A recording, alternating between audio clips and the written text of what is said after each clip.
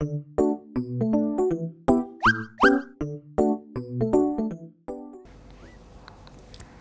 วัสดีค่ะ บิวนัทริยาตราศรี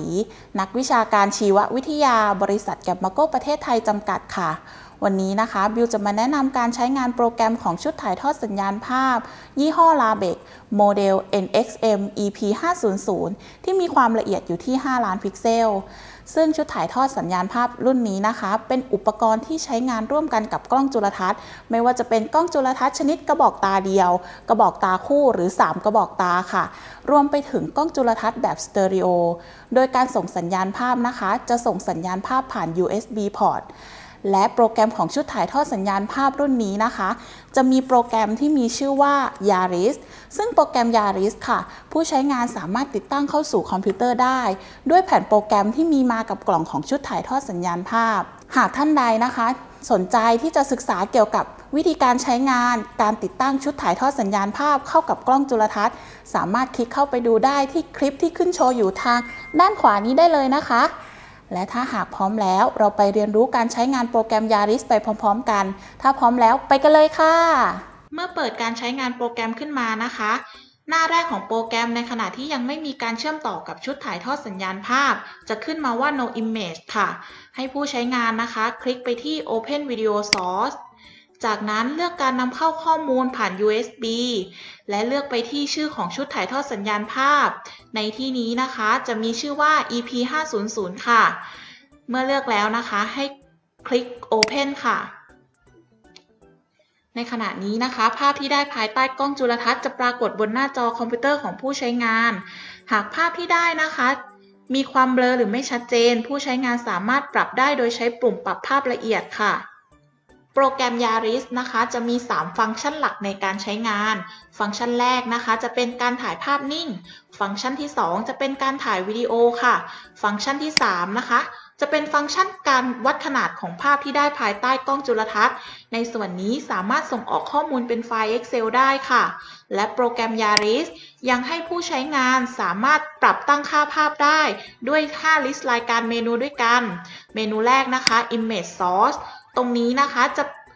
เป็นส่วนที่ผู้ใช้งานสามารถตั้งค่าขนาดของภาพหรือวิดีโอได้ Exposure and Gan ตรงนี้นะคะ จะเป็นการตั้งค่าแสงและค่าความหยาบของภาพ White Balance ตรงนี้จะเป็นการตั้งค่าสมดุลแสงสีขาว Color Adjustment ตรงนี้จะเป็นการปรับค่าสีต่างๆ ของภาพค่ะ และจะมีโหมดของภาพให้ผู้ใช้งานสามารถเลือกใช้ได้ 3 โหมดด้วยกัน หมดแรกจะเป็นโหมด Colorful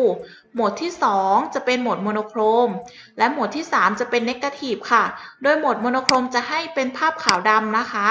ส่วนโหมด Negative จะเป็นการให้ภาพสีคู่ตรงข้ามค่ะ ต่อไปนะคะจะเป็นลิสต์รายการของการ flip กลับของภาพ การ flip ภาพนะคะสามารถ flip ได้ 2 แบบคือแบบ mirror และแบบพลิกกลับค่ะ ฟังก์ชันการถ่ายภาพนิ่งของโปรแกรม Yaris ผู้ใช้งานสามารถสังเกตไอคอนรูปชัตเตอร์สีเขียว ที่ปรากฏอยู่มุมซ้ายมือด้านล่างของหน้าจอ หากกดชัตเตอร์หนึ่งครั้ง หน้าต่างของโปรแกรมจะปรากฏขึ้นมา เพื่อให้ผู้ใช้งานสามารถเปลี่ยนชื่อ และเลือกโฟลเดอร์ที่ต้องการจัดเก็บภาพค่ะ ในที่นี้นะคะ บิวขอจัดเก็บโฟลเดอร์ไว้ที่หน้าเดสก์ท็อปและมี ชื่อโฟลเดอร์ว่าสอนการใช้โปรแกรม และขอเปลี่ยนชื่อภาพนะคะ ตั้งชื่อไฟล์ว่า p1 ค่ะ หลังจากที่บิวกด save ภาพก็จะถูกเก็บไว้ที่หน้าเดสก์ท็อปอยู่ที่โฟลเดอร์การใช้งานโปรแกรม และมีชื่อว่า p1 นะคะ ต่อไปฟังก์ชันที่ 2 คือฟังก์ชันของการบันทึกวิดีโอผู้ใช้งานจะสังเกตนะคะว่าจะมีไอคอนรูปกล้องสีเขียว หากเราเริ่ม ที่จะบันทึกวิดีโอนะคะ ไอคอนตรงนี้จะถูกเปลี่ยนเป็นสีแดง เมื่อกดไปที่ไอคอนรูปกล้องสีเขียว หน้าต่าง pop-up จะสอบถามค่ะ ว่าผู้ใช้งานต้องการเก็บไฟล์ไว้ที่ใด ในที่นี้บิวก็จะเลือกเหมือนเดิมนะคะ คือเลือกหน้าเดสก์ท็อปและเลือกโฟลเดอร์การใช้โปรแกรม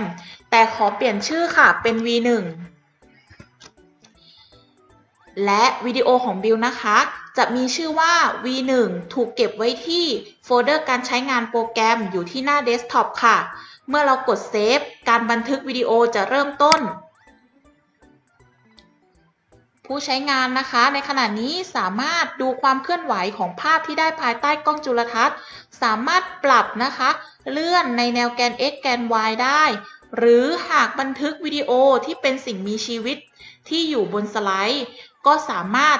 จัดเก็บบันทึกการเคลื่อนไหวของสิ่งมีชีวิตนั้นได้ค่ะ และเมื่อกดไปที่ไอคอนสีแดงนะคะ ก็จะเป็นการสิ้นสุดการบันทึกวิดีโอค่ะ และวิดีโอที่ได้นะคะจะถูกเก็บไว้ที่โฟลเดอร์ที่เราเลือกไว้ค่ะ ในกรณีที่ผู้ใช้งานต้องการตั้งค่าให้โปรแกรมจัดเก็บภาพหรือวิดีโอที่ถ่ายไปที่โฟลเดอร์ที่ต้องการโดยอัตโนมัติ สามารถทำได้โดยการคลิกไปที่ไอคอนฟันเฟืองสีขาว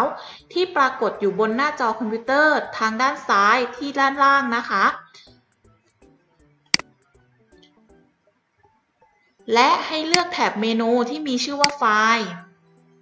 โปรแกรมจะมี 2 list รายการให้เลือกค่ะ หากเลือกต้องการให้ถามทุกครั้งเราจะเลือกอันที่ 1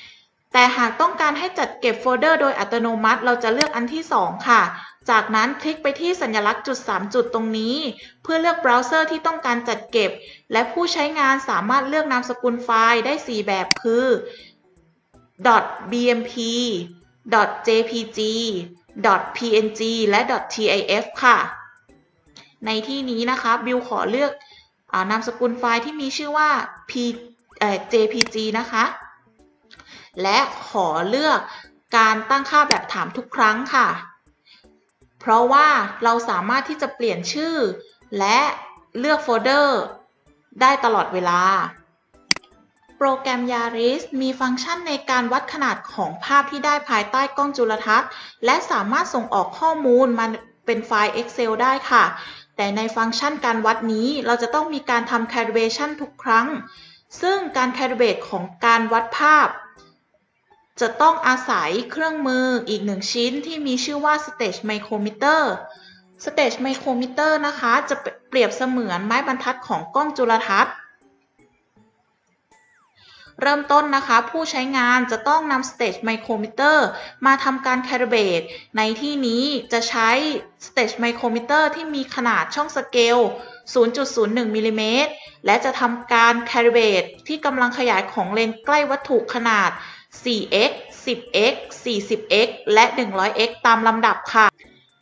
ในขณะนี้นะคะ Stage Micrometer ได้ถูกนำมาวางไว้ที่ Stage ของกล้องจุลทรรศน์แล้ว เราจะสังเกตนะคะว่า Stage Micrometer จะมีลักษณะเหมือนไม้บรรทัดอย่างที่ได้กล่าวไป การทำ Calibrate นะคะ เราจะต้องแอดข้อมูลในการ Calibrate เข้าไปใหม่ในทุกๆ ครั้งในทุกๆกำลังขยาย โดยผู้ใช้งานนะคะจะต้องนำเมาส์ไปคลิกที่ไอคอนที่เป็นเครื่องหมายบวกค่ะ เพื่อแอดข้อมูลใหม่ ในขณะนี้นะคะ เลนใกล้วัตถุของเราจะอยู่ที่กำลังขยาย 4x ก็ให้ผู้ใช้งานนะคะ เลือกที่กำลังขยาย 4x ค่ะ และความยาวจริงของช่องสเกลของ Stage Micrometer ของเราคือ มีค่าความกว้างของสเกลอยู่ที่ 0.01มิลลิเมตรก็ให้ทำการกรอกข้อมูลไปค่ะ และต้องเลือกหน่วยให้ถูกต้องด้วยนะคะ เป็นหน่วยมิลลิเมตรค่ะ ตอนนี้นะคะ ผู้ใช้งานจะสังเกตว่าที่หน้าจอจะมีเส้นคู่ขนาน 1 คู่ เส้นคู่ขนาน 1 คู่นะคะ ผู้ใช้งานจะต้องทำการปรับค่ะ ให้มีขนาดสเกลนะคะ พอดี เท่ากับ 1 ช่องสเกลของ Stage Micrometer ค่ะ และเมื่อปรับขนาดของสเกลได้ถูกต้องแล้วนะคะ ให้คลิกโอเคค่ะ เมื่อคลิกโอเคแล้วนะคะ จะเป็นการบันทึกข้อมูลของการ Calibrate ที่กำลังขยาย 4x ต่อไปนะคะ ผู้ใช้งานจะต้องเปลี่ยนกำลังขยายของเลนส์ใกล้วัตถุค่ะ ในกำลังขยายถัดไปนะคะ จะเป็นกำลังขยายที่ 10x ค่ะ หากภาพที่ได้นะคะ มีความเบลอ ผู้ใช้งานสามารถที่จะปรับความคมชัดของภาพได้ด้วยปุ่มปรับภาพละเอียดค่ะ เราจะเห็นได้ว่าสเกลจะมีความคมชัดมากยิ่งขึ้น ในขณะนี้ผู้ใช้งานจะต้องคลิกไปที่ไอคอนเครื่องหมายบวกเช่นเดิมค่ะ เพื่อทำการแอดข้อมูลเข้าไปใหม่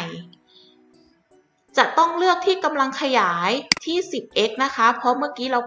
ทำการเปลี่ยนขนาดของกำลังขยายเรียบร้อยแล้ว และใส่ค่าความยาวจริงค่ะ ก็คือใส่ขนาดความกว้างของสเกลคือ 0.01 หน่วยจะต้องเปลี่ยนเป็นมิลลิเมตรด้วยนะคะ เช่นเดิมเลยค่ะ ก็จะปรากฏเส้นคู่ขนานหนึ่งคู่นะคะ ให้ทำการปรับขนาดเท่าช่องสเกลของ Stage Micrometer ค่ะ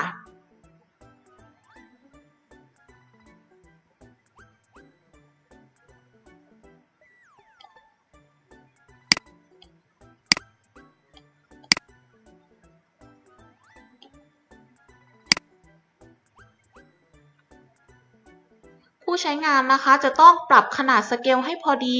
ในหนึ่งช่องนะคะ หากปรับ ให้มีค่าที่เกินออกไปจากช่องสเกลจะทำให้ค่าที่ได้จากความยาวจริงคาดเคลื่อนค่ะ เมื่อได้แล้วนะคะ ให้กดโอเคเพื่อเป็นการเซฟข้อมูลค่ะ และที่กำลังขยาย 40x และ 100x นะคะ ผู้ใช้งานทำการ calibrate เช่นเดียวกันกับที่กำลังขยาย 4x และ 10x ได้เลยค่ะ หากหลังจากการ calibrate เสร็จสิ้นนะคะ ผู้ใช้งานต้องการที่จะลบข้อมูล สามารถเลือกไอคอนที่มีลักษณะเป็นรูปปากกา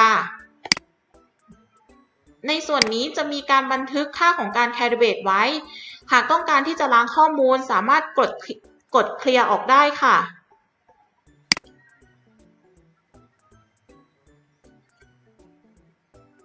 ในส่วนของฟังก์ชันการวัดนะคะ จะมีแถบเครื่องมือการวัดอยู่ทางด้านซ้ายมือของหน้าจอ ซึ่งจะมีหลากหลายรูปแบบให้เลือกใช้งานค่ะ ในตรงนี้นะคะจะสามารถบอกในส่วนของค่าความกว้าง ความยาว ค่าของความสูง ค่ารัศมี เส้นผ่านศูนย์กลาง รวมไปถึงมุมและเส้นรอบรูป และคำนวณพื้นที่ภายในเซลล์ โดยค่าที่วัดได้นะคะ จะถูกแสดงไว้ที่ list รายการด้านล่างค่ะ ผู้ใช้งานจะต้องคลิกไปที่ไอคอนที่มีคำว่า list ซึ่งปรากฏอยู่บนด้านขวามือด้านล่างของจอคอมพิวเตอร์นะคะ ค่าพารามิเตอร์ต่างๆ จะถูกแสดงไว้บน Area ตรงนี้ ยกตัวอย่างเช่น ตอนนี้อยู่ที่กำลังขยาย 4x ค่ะ ก็จะเลือก in pixel ที่ 4x นะคะ และเลือกเส้นตรงค่ะ เพื่อทำการวัดความยาวของข้อม ของภาพที่ได้ภายใต้กล้องจุลทรรศน์นะคะ และวิวสังเกตค่ะว่า เส้นทำที่ทำการวัดนั้น มีสีฟ้ากลมกลืนไปกับเซลล์ของเนื้อเยื่อกระเทียมนะคะบิวจะขอเปลี่ยนสีของเส้นค่ะ โดยคลิกมาที่ทางด้านซ้ายมือจะมีแถบเครื่องมือในการเปลี่ยนสี ขอเลือกเป็นสีขาวนะคะและรู้สึกว่าความหนาของเส้นยังมีไม่เพียงพอ อยากให้ อยากให้เห็นขนาดของเส้นที่ชัดเจนมากกว่านี้ บิวจะทำการเพิ่มค่ะ เส้นก็จะมีความหนามากขึ้น ในส่วนตรงนี้นะคะจะมีค่าปรากฏขึ้น และต้องการที่จะส่งออกข้อมูลเป็นไฟล์ Excel นะคะ บิวจะทำการคลิกทางด้านขวามือนะคะ คลิกขวาและเลือกส่งออกข้อมูลเป็นไฟล์ Excel ตอนนี้นะคะข้อมูลถูกส่งออกไปแล้ว ค่ะ ข้อมูลจะถูกปรากฏบนไฟล์ Excel นะคะ จะมีทั้งข้อมูลในตารางพารามิเตอร์ที่ปรากฏที่เราได้วัดนะคะ แล้วก็เป็นภาพของการวัดขนาดของกล้องจุลทรรศน์ค่ะ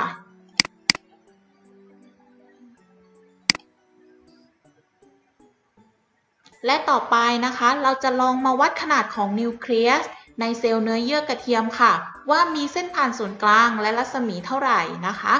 บิวจะขอปรับกำลังขยายของเลนส์ใกล้วัตถุไปที่ 10x ค่ะ และหากภาพนะคะ ความคมชัดและความเบลอนะคะ ยังไม่เหมาะสมนะคะ บิวก็จะทำการปรับด้วยปุ่มปรับภาพละเอียดค่ะ เพื่อที่จะได้เห็นเซลล์ของนิวเคลียสชัดเจนยิ่งขึ้นนะคะ และเมื่อเราปรับไปที่กำลังขยาย 10x แล้วนะคะ ตรงเนมตรงนี้ก็ให้เรามาเลือกที่กำลังขยาย 10x เช่นเดียวกันค่ะ และบิวจะเลือกฟังก์ชันที่เป็นวงกลมตรงนี้นะคะ เพื่อที่จะวัดจุดศูนย์กลางและเส้นรัศมี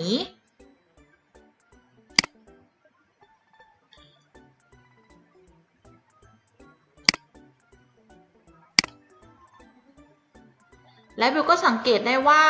เส้นในการวัดของบิวนะคะ มีสีที่กลมกลืนกับสีเซลล์มากเลย จะขอเปลี่ยนเป็นสีขาวค่ะ ก็จะอยู่ที่แถบเครื่องมือทางด้านซ้ายมือนะคะ สามารถเปลี่ยนได้ และสามารถเพิ่มความหนาของเส้นในการวัดได้นะคะบิวจะขอปรับเป็น2ณขณะนี้นะคะ ตาม list รายการจะแสดงค่าพารามิเตอร์ของรัศมีเส้นผ่านศูนย์กลาง แล้วก็ในส่วนของเส้นรอบรูปรวมไปถึงพื้นที่ของนิวเคลียสได้ด้วยค่ะ และบิวต้องการที่จะส่งออกข้อมูลนะคะ เป็นไฟล์ Excel บิวจะทำการคลิกขวาค่ะ และส่งออกข้อมูลไปที่ Excel ในขณะนี้นะคะ โปรแกรมก็กำลังจะประมวลผล เพื่อที่จะส่งออกข้อมูลเป็นไฟล์ Excel ให้กับผู้ใช้งานค่ะ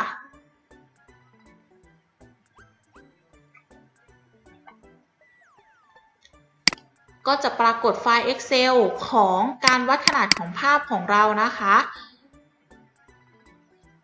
ค่าพารามิเตอร์ก็จะถูกแสดงออกมาในตาราง Excel ในส่วนนี้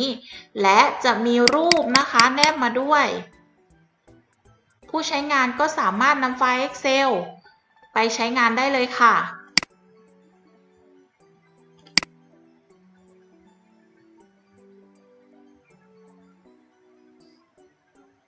และหากผู้ใช้งานนะคะ ต้องการที่จะต้องขยายภาพ ของชุดถ่ายทอดสัญญาณให้มีความใหญ่ขึ้นในการแสดงผลนะคะ ก็จะมีฟังก์ชัน zoom in zoom out นะคะ เพิ่มเติม แล้วก็มีฟังก์ชันของการทำ full full screen หน้าจอนะคะ ก็จะแสดงผลภาพที่ใหญ่ขึ้น ค่ะ แล้วก็จบไปแล้วนะคะสำหรับการเรียนรู้โปรแกรม Yaris ของชุดถ่ายทอดสัญญาณภาพ LABEX NXM EP 500หากท่านใดนะคะ สนใจที่จะสั่งซื้อสินค้า สามารถสอบถามได้ที่ www g a m m a g o c o m นะคะ และช่องทางออนไลน์ของบริษัท g a m m a g o แล้วพบกันใหม่คลิปหน้าสำหรับวันนี้ สวัสดีค่ะ